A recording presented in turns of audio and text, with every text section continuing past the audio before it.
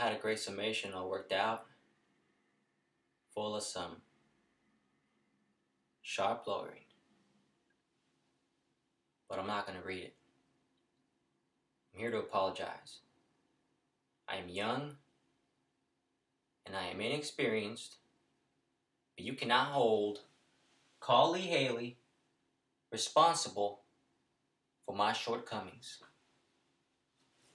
You see, in all this legal maneuvering, something has gotten lost. And that something is the truth.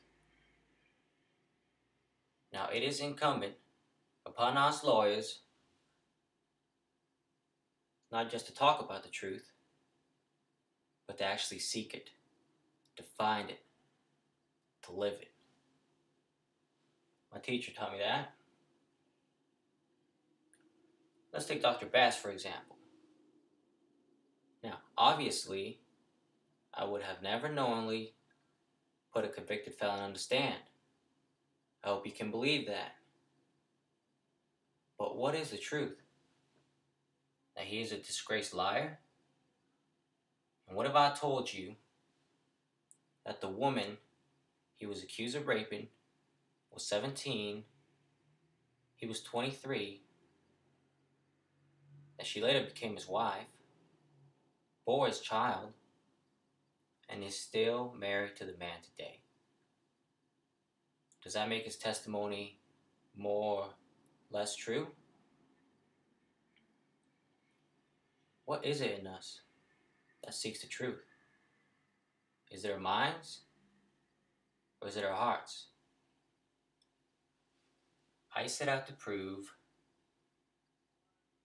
that a black man could receive a fair trial in the South, that we are all equal in the eyes of the law. That's not the truth, because the eyes of the law are human eyes, yours and mine. And until we can see each other as equals, justice is never going to be even handed. It will remain nothing more than a reflection of our own prejudices. So until that day, we have a duty under God to seek the truth. Not with our eyes, not with our minds, with fear and hate turn commonality into prejudice, but with our hearts, where we don't know better.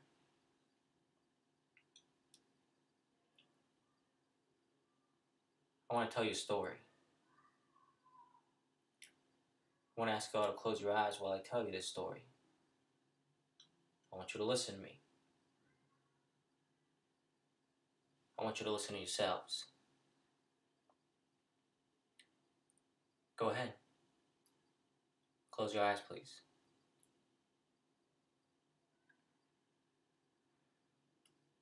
Is this story about a little girl walking home from the grocery store on sunny afternoon. I want you to picture this little girl. Suddenly, a truck races up. Two men jump out and grab her. They tie her up and they rip the clothes from her body.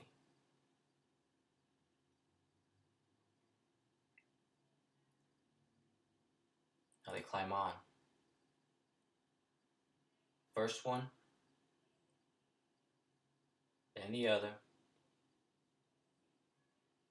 raping her.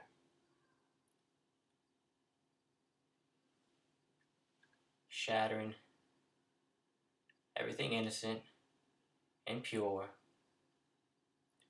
with a vicious thrust in a fog of drunken breath and sweat.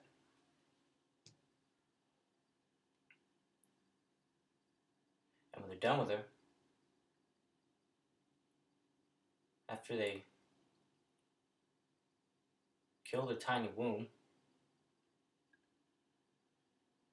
murder the chance for her to bear children, to have a life outside of her own.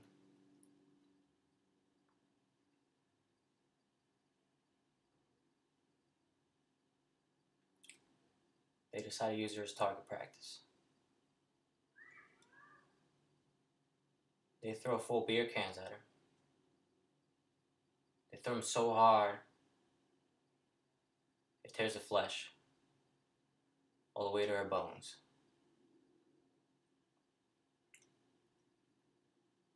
Now comes the hanging. They have a rope, tie a noose. Now imagine the noose pulling tight around the neck.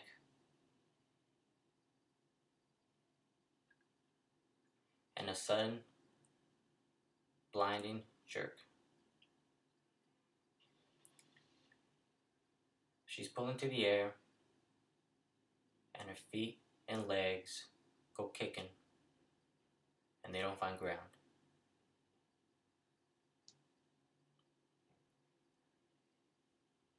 The hanging branch isn't strong enough. It snaps. And she falls back to earth. So they pick her up.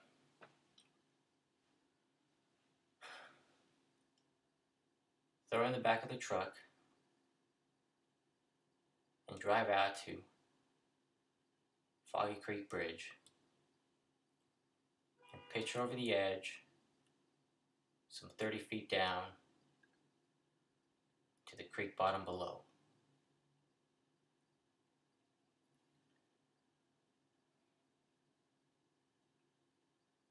Can you see her?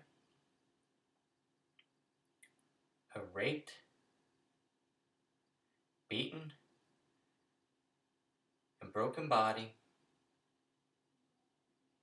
soaked in their urine,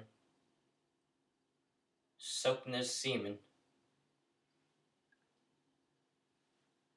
soaked in her blood, left to die. Can you see her?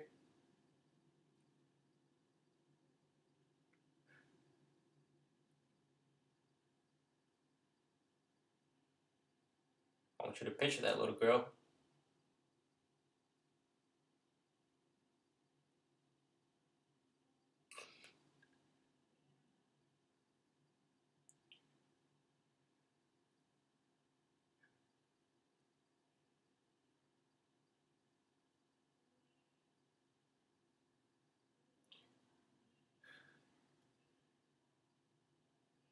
Now imagine she's white.